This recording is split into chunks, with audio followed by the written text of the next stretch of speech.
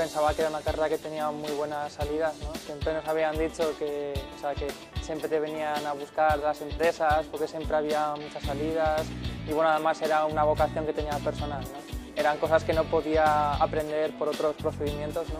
Y siempre creí que era la mejor forma de conseguir unos conocimientos que no son triviales, ¿no? En Ingeniería de Comunicaciones la vi una carrera con bastantes salidas y futuro. Dudaba entre informática y teleco y decidí que lo que es telecomunicaciones me entraría más dentro de mi perfil. Y la verdad, a día de hoy estoy bastante contento. Pues yo creo que es la que está más enfocada a Internet, que es la parte de telemática, pero he descubierto también que en la carrera hay una parte de comunicaciones que me llama la atención, no tanto así como electrónica, pero que no deja de ser interesante para la formación de, una persona. Tenemos Hualca en Huesca y bueno, tenemos también un colegio de ingenieros que apoya bastante a los estudiantes y tenemos un sector bastante joven y prometedor en, en el entorno.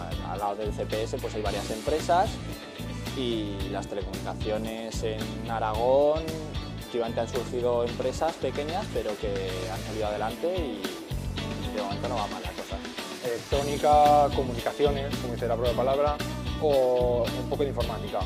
Salidas le veo bastantes. Que me veo yo en algún campo, a día de hoy no, no estoy muy colocado.